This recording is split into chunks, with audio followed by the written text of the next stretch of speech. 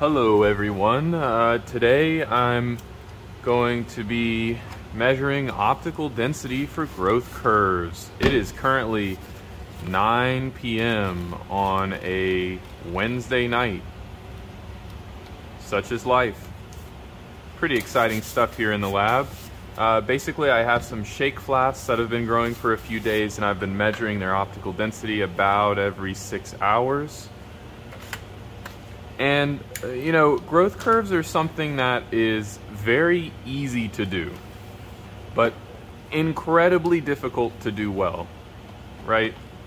So the idea is basically you just measure the flask every however many hours. Usually I think it's it's normal to measure at least once every doubling time. So these cultures should double every six to eight hours on average. Uh, and you know, some variation is fine, but basically you want to have maybe like 10 data points within a growth curve. Maybe I'll put a growth curve up on the screen now so you can see what we're trying to build here. And maybe even I'll put my data that I get from this experiment on the screen as well. Um, so we're going to be using what's called a spectrophotometer to measure the optical density at 600 nanometers, or the OD600. So the spectrophotometer, all it does is shine light through one of these little cuvettes and it measures basically just how much light gets through. If less light gets through, then it's more dense, and if more light gets through, then it's less optically dense, right? Unfortunately, the machine only has a detection range between an OD of 0.1 and 1.2 and those units are sort of arbitrary so whatever. Uh, but what that means is we need to take our sample and dilute it down. So these are the shake flasks. Uh, we use these sticky pads. They're really really useful. I need to grab all of these flasks. They're all coming with me what these are is a, what I'm trying to do is compare the growth between some single knockouts and wild type. So these are some knockouts from this genome-wide screen that I did. And uh, the knockouts should improve growth on a carbon source called acetate. So the media that's in these flasks, the media in these flasks is incredibly minimal media basically just salt water. And uh, instead of glucose as the carbon source, I added sodium acetate. And this is a relatively high concentration of sodium acetate. So it should be pretty stressful to the cells, except for my beautiful mutants who should be growing better than wild type. So as I take these measurements, I'll try my best to shut up. I really don't want to breathe in anything here. But I'll, I'll do the first two flasks and then I'll explain what I did, okay? Here we go.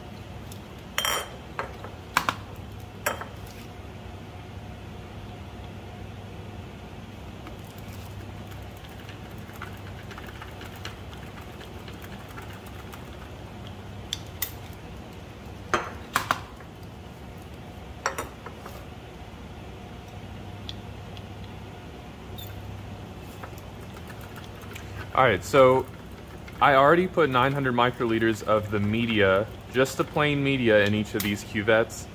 And then I put 100 microliters of the sample into each cuvette and mixed it around really well. Here we go.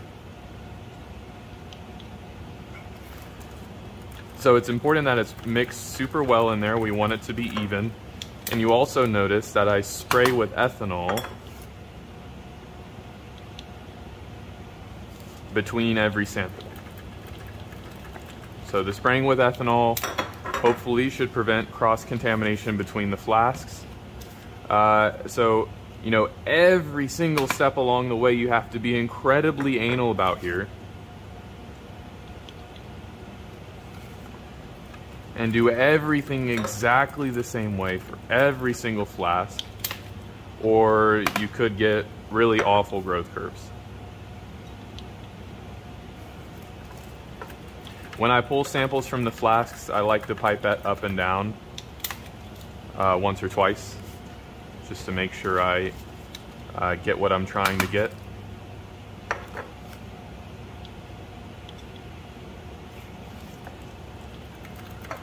Mix that around.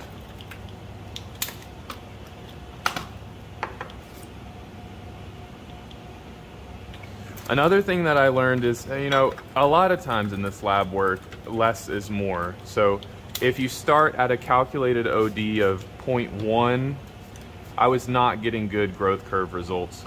But this time I started at an OD of 0.05, and the growth curves are looking good. Is it because I got better at taking OD readings and before I was a bad scientist and now I'm a good scientist? Maybe. But that's the one big thing.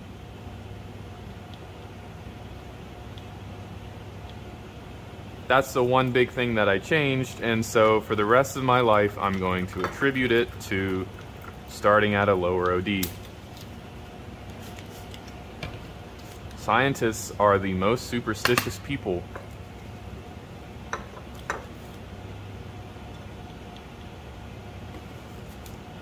Uh, I also have an extra cuvette. I don't know if you noticed that extra cuvette there, but that one is the blank.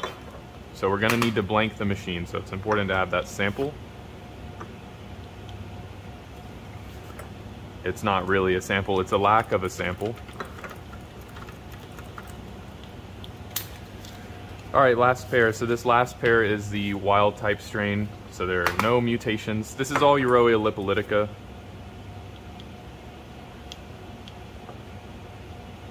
Yarrowia lipolytica is an oleaginous yeast.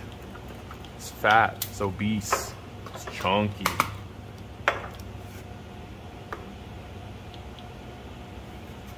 Uh, so far, this growth curve has been going incredibly well. These knockouts should improve growth on acetate, so the OD should be higher for those.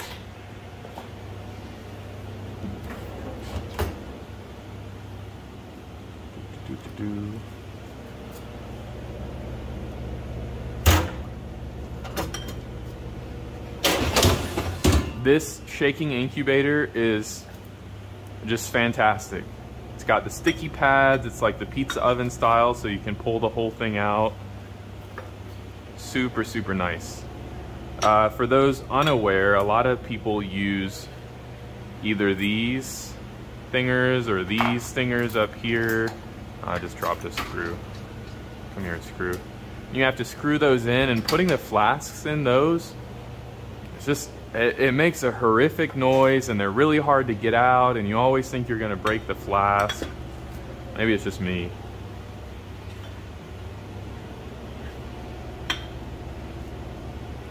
So let's look at a couple of the flasks here. So this is this is the uh, wild type. Hopefully you can see that. And this is one of the mutants. This is probably at an OD of like one or two, and this one's probably at an OD of like four or five. Uh, eventually you should be able to look at flasks and give a pretty good estimate of, of what the OD is. Uh, I'm not spot on, but uh, you know,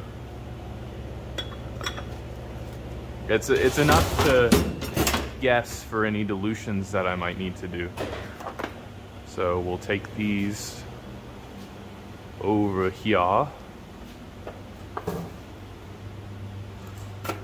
Wake up, computer.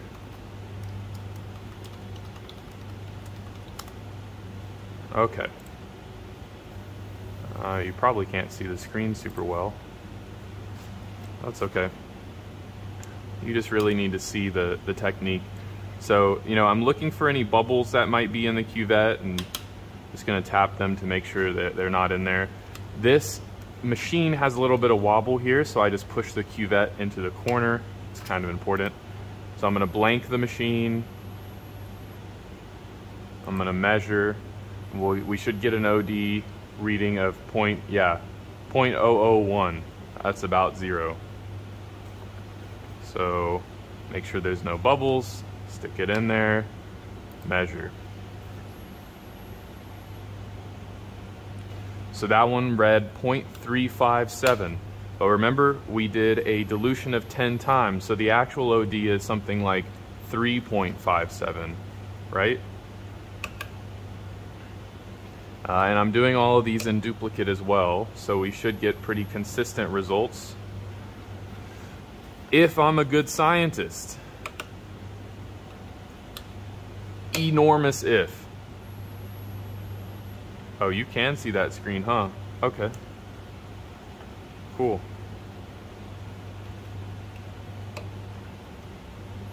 So the last one I got basically, you know, after the calculation five and one. That pair has given me troubles uh, in the previous measurements. I don't know why, but that one was like 4.7 and 4.1. Again, this is after I'm, you know, doing the times 10. That one's 1.97.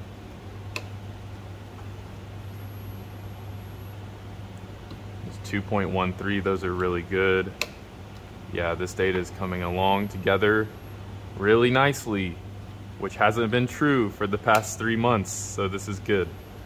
I haven't been doing growth curves for three months, but you know, I feel like typically with lab work, things go really poorly for like three months, and then all of a sudden they go really well for no reason for like two weeks.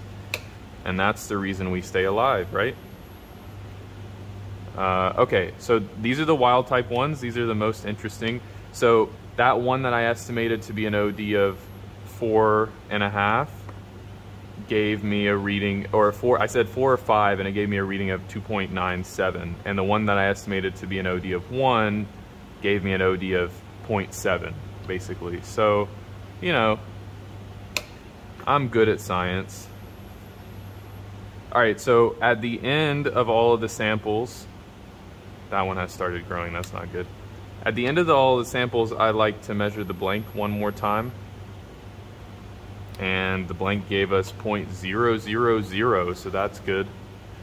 Um, so anyway, that's it. I'm gonna analyze all this data. It looks good so far. If the data looks really good, I'll throw the graph on the screen because I'll be really, really proud.